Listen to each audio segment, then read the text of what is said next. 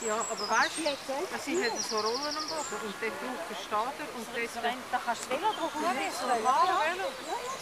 Ja, ja, ja.